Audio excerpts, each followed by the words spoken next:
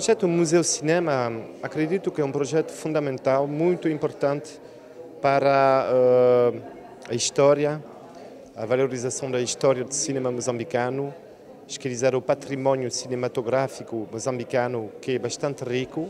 é uma maneira assim de poder revisitar, uh, poder mergulhar dentro deste património. E através deste património também das experiências, dos movimentos que foram feitos, inventados também aqui. Estou a falar, por exemplo, para a edição 2018 do Museu de Cinema, que é um conceito particular porque é um museu virtual,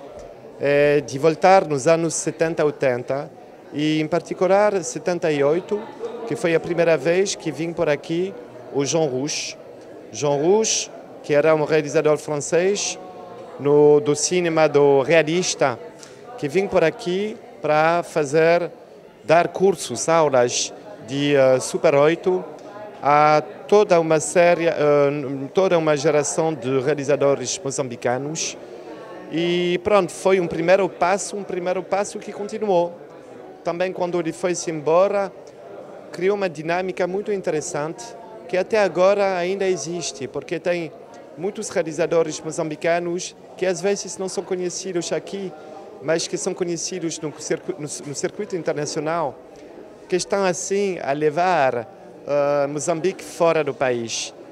E então é um projeto extremamente interessante, interessante também para o, a nova geração,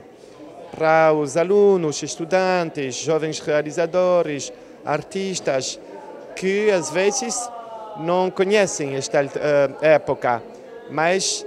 através desta exposição é uma maneira também de conectar uh, estas gerações de, de, criadores. Então, de parabenizar Diana Manissa, que desde o início desta iniciativa 2016